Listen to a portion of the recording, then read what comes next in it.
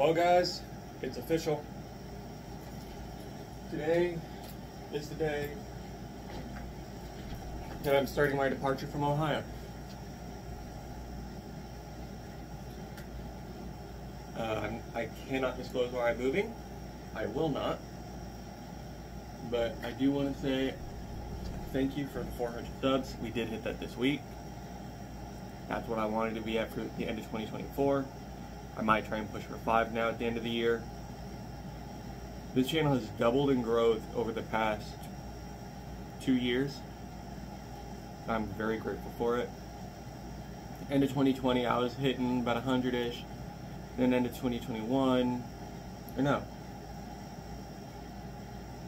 At the end of last year, we had 200 subs. At the end of the year before that, we had 100. I know channel growth has been slow. I know posting has been slow, but I do have life stuff going on, i.e., me moving.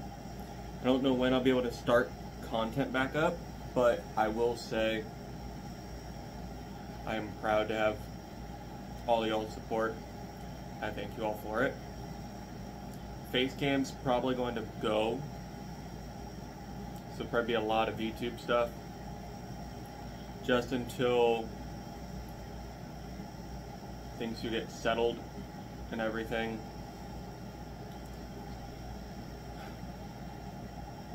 But I do want to say thank you to all of you. And I appreciate all your support. And hopefully we can reach a thousand where I can start getting subs or get the monetization back on the channel. And I can start putting money into the channel more. As that's money you guys are allowing me to make through ads and everything to directly go to the channel. On top of if there are any games you want to see, there is always a throne. You could suggest them. Like, and if you suggest it, like leave a leave a name on it, and be like, "Hey, I'm requesting this to be put onto the YouTube channel." Go for it.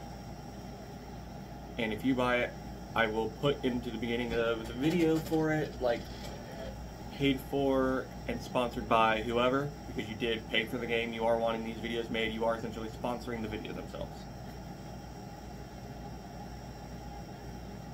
It may not be a timely manner on when they get out, and I have to re essentially restart my life where I'm moving.